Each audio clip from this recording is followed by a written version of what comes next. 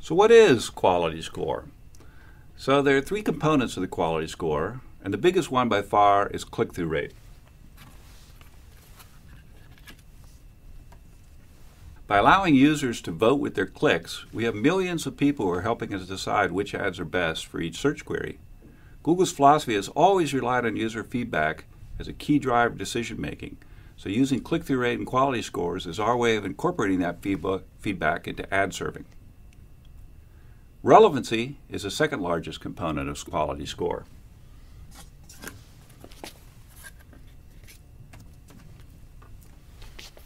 Both the relevancy of a keyword to the ads as well as to the user's search query. Google determines relevancy by analyzing the language and context of an ad or query and determining how well it relates to keyword. Google uses relevance to make sure that only useful ads are displayed to users, and it prevents advertisers from paying their way onto a search that's unrelated to their product or service. The third component of quality score is landing page quality.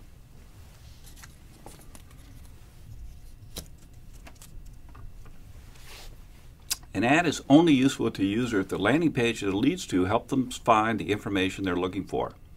A high quality landing page should have relevant, original content, be easily navigable with quick load times, a minimum pop ups or pop unders, and be transparent about the nature of your business, how your site interacts with a visitor's computer, and how you intend to use a visitor's personal information.